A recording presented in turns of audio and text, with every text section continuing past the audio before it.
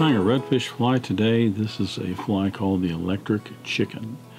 Um, you can pretty much guess where the electric part comes from because it is nice bright fluorescent colors. I'm not certain where the chicken part comes from unless the original was tied with a hackle or something instead of this is an Estaz body. But um, it's called the electric chicken. Uh, maybe it should be the electric bunny or uh, the electric rabbit. I don't know. But it's a very, very simple pattern uh, in terms of a Zonker tail, Estaz body. There is um, a different technique that is employed for anchoring the tail so that it doesn't foul. Um, one I have not seen too many people do, um, but I've had great success with, so we will get into that. But again, a very simple pattern that you can tie up in no time and uh, in no time have a bunch of redfish flies uh, for your next outing. So that's the electric chicken and we'll go ahead and get started.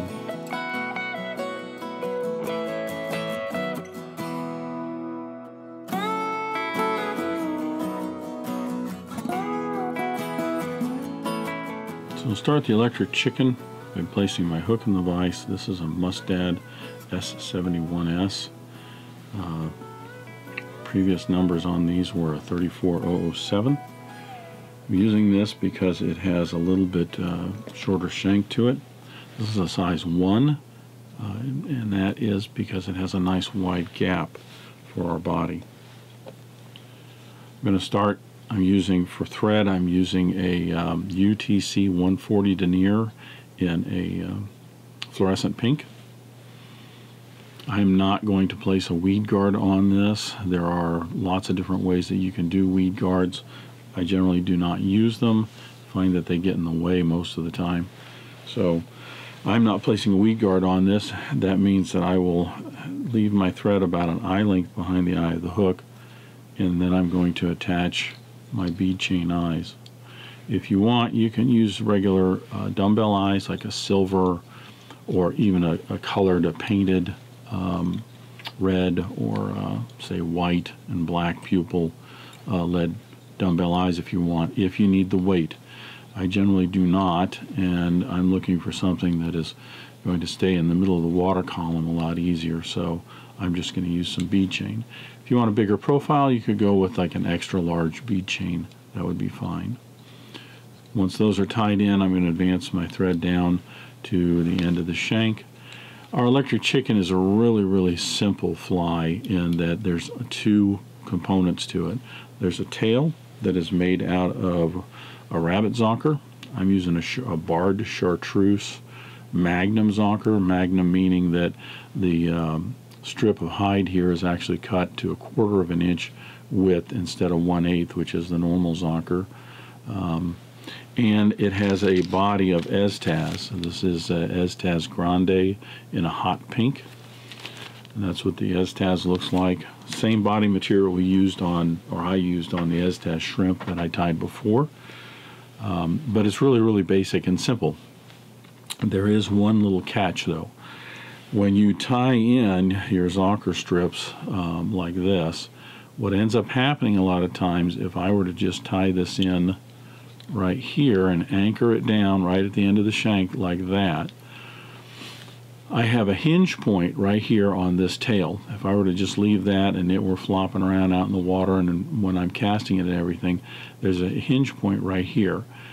Because it is forward of the bend of the hook, what that means is that there are times where in casting this, the, the rabbit will actually get caught up into the gap of the hook like this and it'll foul up basically. So we want to prevent that from happening.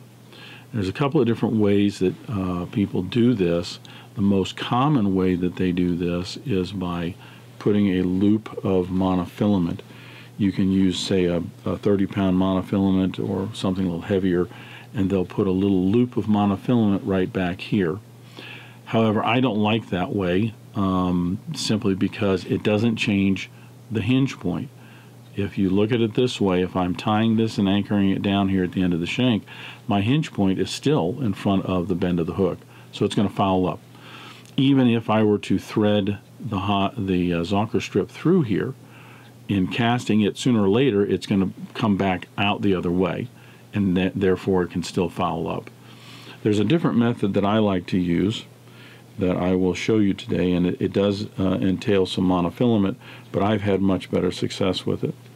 So what I'm going to do is I'm going to take my Zonker, the full length, and I'm going to trim some of the fur off of maybe a quarter of an inch right here, and then I'm going to narrow it down. I'm just going to cut down the sides a little bit. That's simply so that it doesn't bulk up the hook shank so much.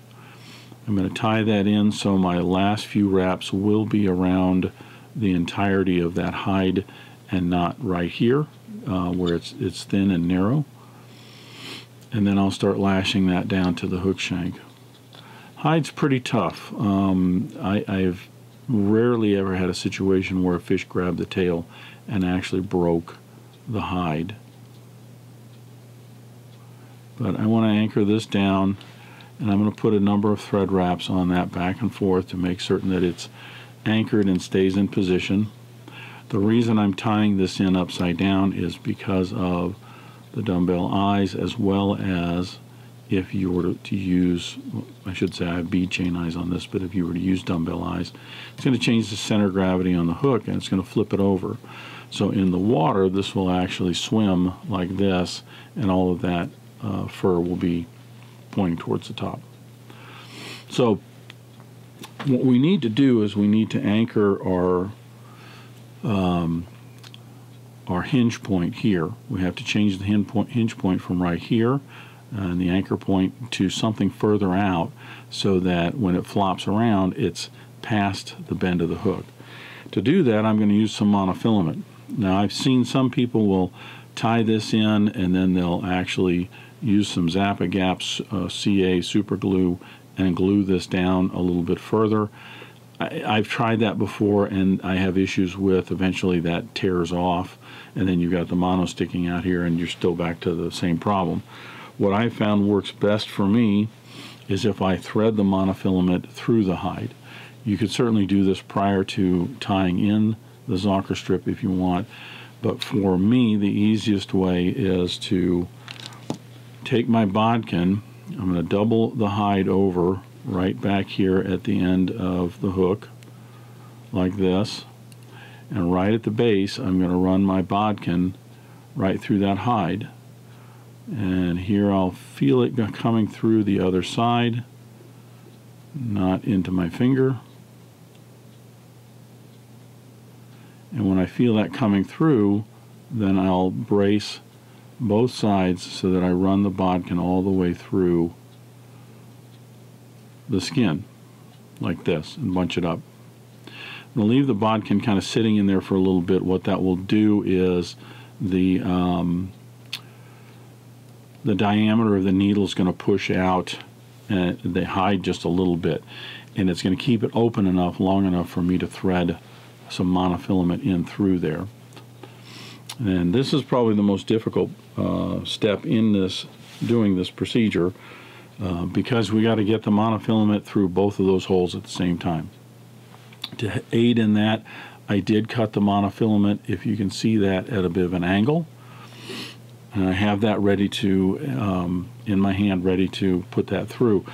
I'm going to push the zonker strip right here tight up against the hook to keep that fold in it and that will keep the holes aligned.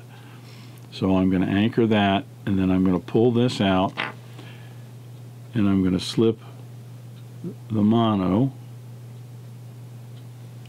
into the hole and because I braced it together like this they stayed in line and the mono goes right through at least this is, you know, I found this to be the easiest method um, for me of doing this. So once that monofilament is through, I'm just going to extend it up into the body and then I'm going to lash that monofilament down.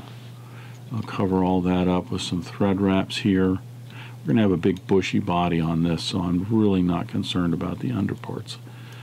Um, you could actually even add some um, lead wraps in here if you wanted to keep the profile of the bead chain eyes, but needed a little bit of weight.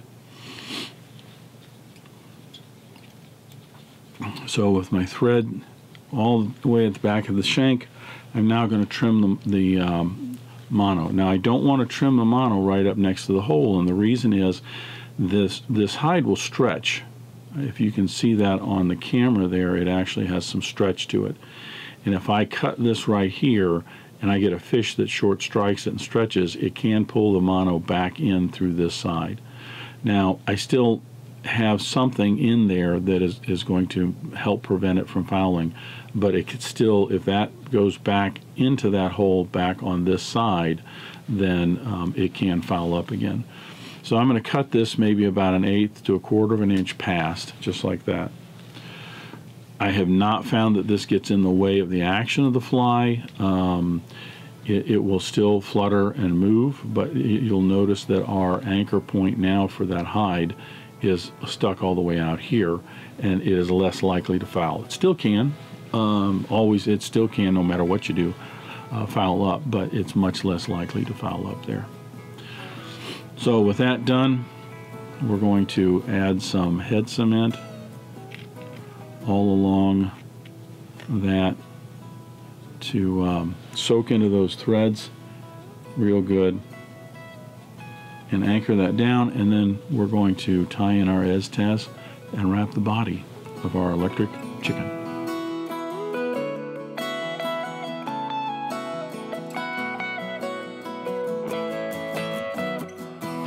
So we're just about ready to put the body in of our electric chicken. Uh, one thing we do have to do, uh, as I noted earlier, I tied in this uh, strip uh, the full length. I do have to shorten that up. I want the hide to be basically about the shank length or um, a hook length long if you want a little bit longer tail. Can't take your scissors and just come in here and chop like this because we'll chop all that hair off um, at an abrupt angle. We don't want that. We want all this hair uh, and the nice tips out back.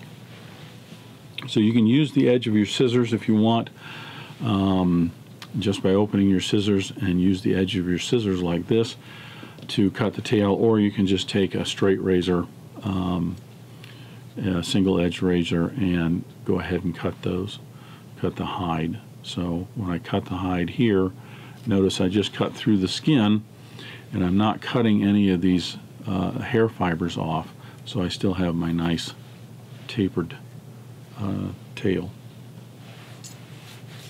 All right, so tail's done. We are ready for the body. This, as I mentioned before, is a Grande Estaz in a hot pink that we're going to use for the body. like the Estaz shrimp that I tied a while back, I'm going to just anchor the tip of that Estaz right along the hook shank and then anchor that down well and wrap my thread right up to behind the eye of the hook.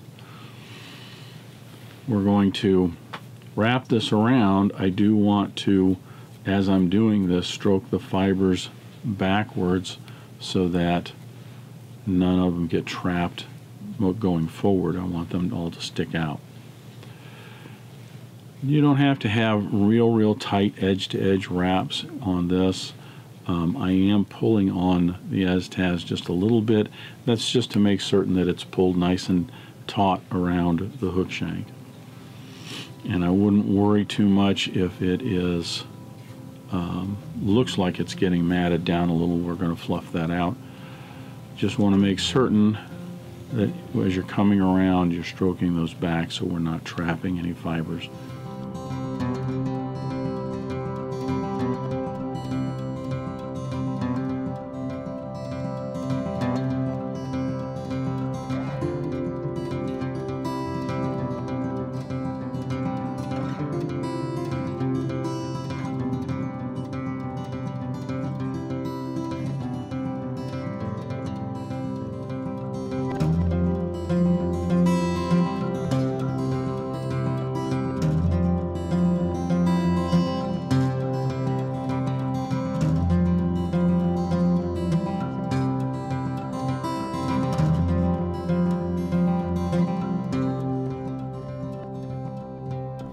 Few wraps here, I'm going to pull tight on that and squeeze in a couple of wraps right tight against that bead chain eye.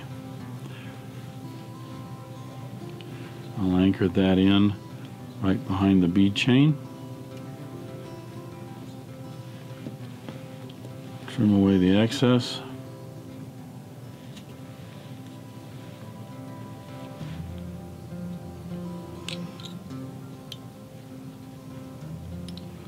Bring my thread up front for the bead chain eyes behind the eye of the hook and just make a little bit of a nose to the fly. Makes it look a little more finished and it gives it a, a little bright front end.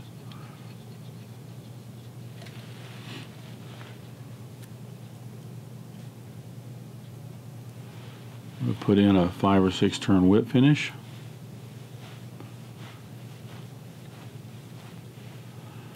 Seven and cut away my thread.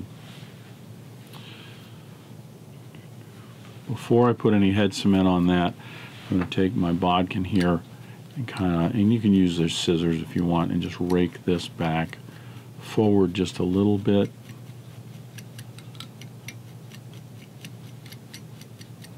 And that's just to get some of those fibers sticking out a little more perpendicular. Similar to the Estaz shrimp, I like to trim the bottoms of these just a little bit, just so that they have a little bit more um, of a profile of something flat on the underside, that's all. That's just me. You could leave that just the way it was and that will be just fine. With all of that trimmed, I'm going to take my Fly-Tite and I'm going to soak all those thread wraps right at the base of the Estaz across the dumbbell eyes, I'm sorry, the B-chain eyes, and up front. Um, and that's just to reinforce that, just to help it a little bit. And there you have it. That is the electric chicken. Very bright attractor pattern, good redfish fly. Um, you could tie this up in other colors um, if you want to, as long as you're keeping it kind of bright and fluorescent. Um, I think that goes with the electric part of the fly. And again, as I've mentioned on some of the other redfish flies that I've tied, you can use a dumbbell eye to add more weight on that or a little bit of lead wraps along the hook shank just to add a little bit of weight. But at least my experience has been that most of the redfish um, that I have fished for, you want the fly in the water column, not just dragging on, on the bottom. But I'm certain there are places uh, where people fish for redfish where that's what they want. They, similar to bonefish or permit, they want a little crab or a shrimp that's just sitting on uh, the bottom, inching along. So there you have it. Simple pattern, easy to tie. You can whip out a bunch of these in no time. That is the electric chicken.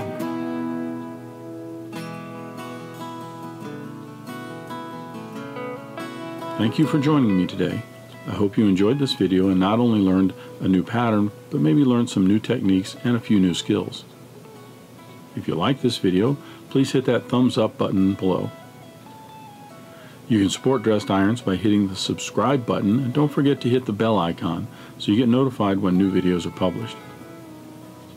If you have any questions or comments, feel free to leave them in the comment section and I'll be happy to answer any questions you might have. Until next time, remember, it's fly tying. If you're not having fun, you're doing it wrong.